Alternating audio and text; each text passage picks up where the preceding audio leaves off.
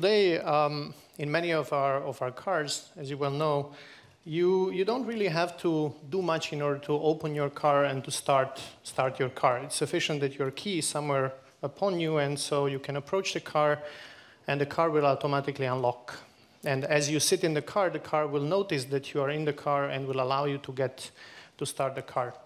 So uh, about 10 years, almost 10 years ago, I, uh, I bought such a car and I started wondering whether I could, uh, I could somehow hack into this car based on this notion of proximity. And so with a group of my, of my students and collaborators, uh, we came up with a, with a relay attack. And this was a, as an attack by, by which we could essentially relay signals between the car and the key. And this key might be uh, sitting in your, in your house and the car might be parked outside of your house. And by relaying these signals, we were able to shorten the distance that the car and the key were measuring and therefore open open all these cars. Now, this was, this was a very fun experience because um, stealing things uh, legally, I mean, can really be fun. Probably legally as well, but legally, it was a lot of fun for us. So, um, and a lot of years have passed and a lot of uh, car manufacturers tried to fix this problem. All of them were affected back then and the last time that we checked, all of them are affected now. And these, these attacks are, are still happening actually today in practice. So this is a video from last year where a, a bunch of thieves, they're not actually wearing white, white robes. They're, this was just edited in order to protect their identities, I guess. They are, they are walking around carrying two devices, as you can see. One of these devices is exciting the key that's in the, that's in the house, and the other one is actually uh, standing next to, the, next to the car, relaying the signals. Later on in this video, they, actu they will enter the car and they will drive, drive away. Now, um, in order to solve these kind of problems, what we actually need, and this, is what, this was one of our motivations, is we need to make sure that we can securely measure a distance between a key and a car. And this might seem somewhat trivial, right? I mean, uh, humans are pretty good at estimating distances, but how do wireless devices do this? And this is not only a problem in, in cars, this can be a problem in your home. If you want homes that can recognize that you are close because you're wearing your mobile phone and just open the doors for you, well, you need proximity. The same applies to your to your laptop. As you approach your laptop, maybe wearing a, a dongle or, or, a, or a phone, your laptop should automatically unlock. The same is valid for, for payments. However, this is not only restricted to human interaction, this, is also this also applies to many other online experiences. I would really like to know who is connecting to my server and from where, and I want to verify the location from which they are connecting. So Cloud providers would like to do that, and also users would like to know who is connecting to my system. It's like who is entering my home in some way, or who is knocking on the door. And where are they? And this is one of the main attributes that you would like to know. And maybe more, more importantly today in the, in the Internet of Things era, in all of our hospitals, in all, in all of our homes, in all of our industrial automation uh, centers, we are going to have many wireless devices that will be deployed everywhere, many, many small ubiquitous devices, and they will all want to know where they are. And they will also, we, we would also need to know where they are securely. So essentially, if you, if you want to frame this problem, you would talk about the need to know where other objects and people are, and also the need to know where you are. So the need to verify and to, and to have some awareness of your own location. And you want to do it clearly securely. So clearly, you know, all of us are, are familiar with, with GPS. And uh, if you're outdoors, GPS will might help you. And you might rely on GPS to know where you are. And so this shows, shows a mobile phone, as you can see. Uh, and this mobile phone indicates a location in Berlin. Except that this mobile phone is actually not in Berlin. This mobile phone is in Zurich, and what we did is we, we took a device that you see in the upper right corner of, uh, of, this, of this image, and we injected wireless signals into the area where this phone was, and this phone, which was actually in Zurich, showed a location in Berlin. Now imagine, so this might not be such a big problem because you might have some awareness of where you are, but imagine all these self-driving cars, self-driving drones, autonomous systems, thinking that they are actually elsewhere. Would that make you comfortable? Would it make you comfortable knowing that for less than 1,000 Swiss francs and a couple of uh, software downloads, any kid on the planet could do the same? Does this make you feel safe about sitting in an autonomous vehicle that relies on this kind of sensing for, uh, for navigation? I'm not sure. You know, maybe you are happy with that. Maybe you can close your eyes or ears to that kind of threat. But given that I live in a very adversarial world, right, we think about these problems all the time, I can't really ignore it. And we are not the only ones that do this kind of hacks. As you can see, researchers are spoofing into, into military drones. Uh, Iranians claim that they, that, they that they hijacked a US drone by GPS spoofing.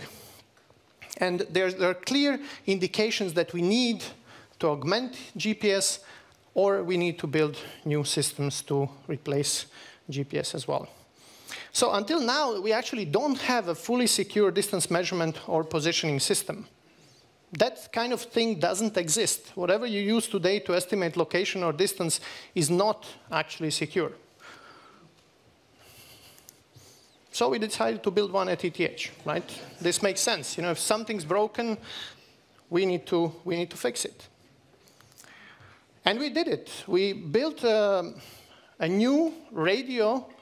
It's an integrated circuit, so it's a new chip that is low power and it's provably secure.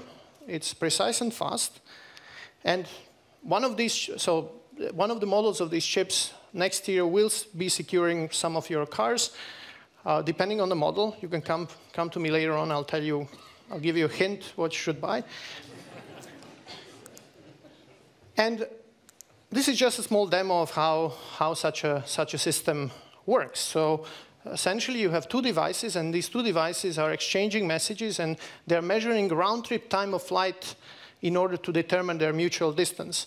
And you can imagine this, this, these signals are traveling the speed of light.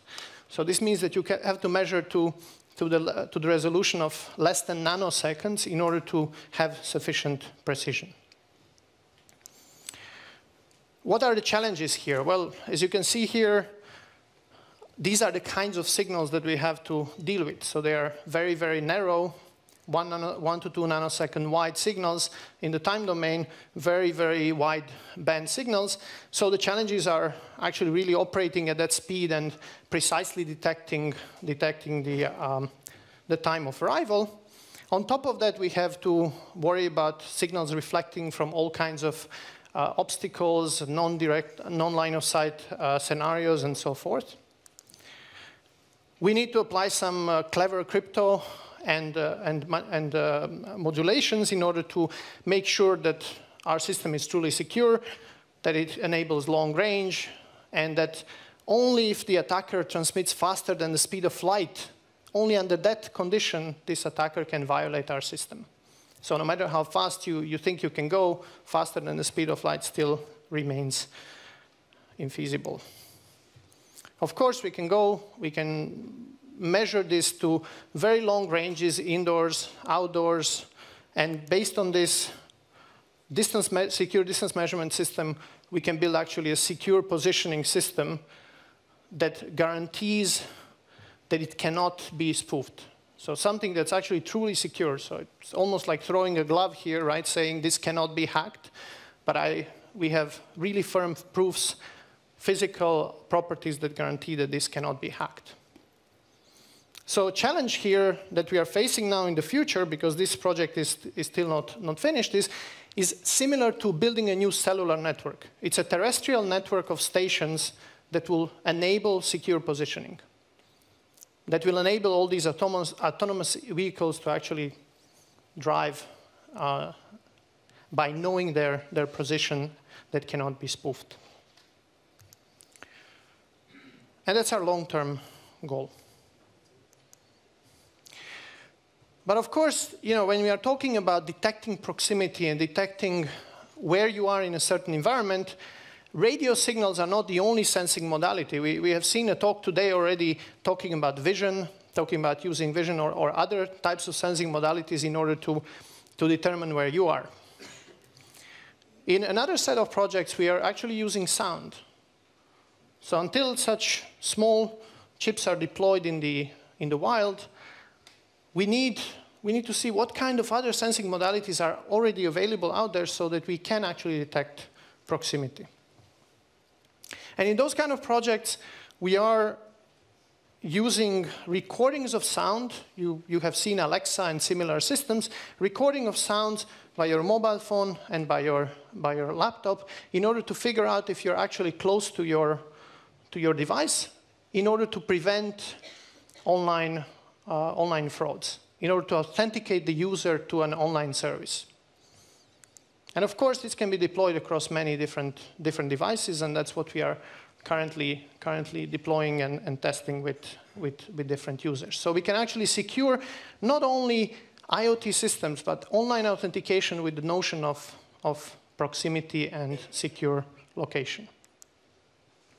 So my final message is essentially it's time to de-virtualize, right? I mean, internet has, has taught us that everything is a virtual resource somewhere out there and that we shouldn't really care where things are because everything can be reached somehow and all these resources sit somewhere.